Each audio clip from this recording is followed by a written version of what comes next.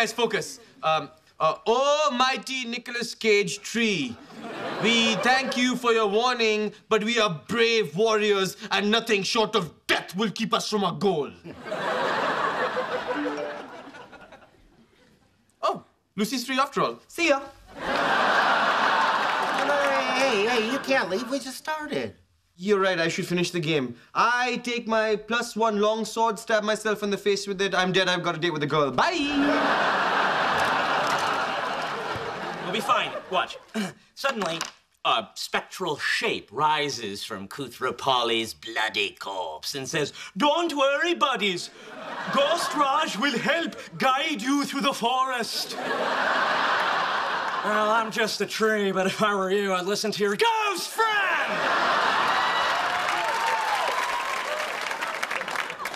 Go on, give him your lunch money.